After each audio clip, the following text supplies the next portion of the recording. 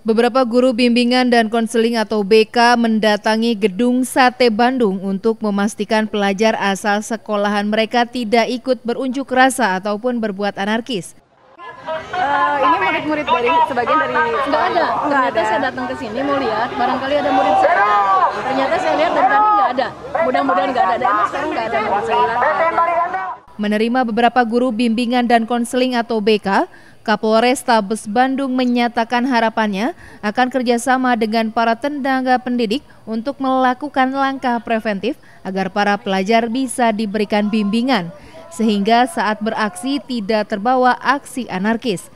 Pihaknya pun memastikan sarana kontak para pelajar tersebut merupakan media sosial. Ini kami melihat dari apa memahami SK dari Mendikbud ya dari baca kan di sana juga diarahkan agar tidak melaksanakan aksi yang mengarah kepada uh, terjadinya pelanggaran hukum. Pihaknya pun berharap tidak ada barang berbahaya yang dibawa para demonstran. Kapolres Tabes pun mengimbau agar masyarakat menyampaikan aspirasi mereka dengan baik tanpa tindakan anarkis. Pihaknya pun tengah mendalami keberadaan kelompok yang memprovokasi para demonstran untuk menanganinya lebih lanjut. Budi Hartati, Bandung TV.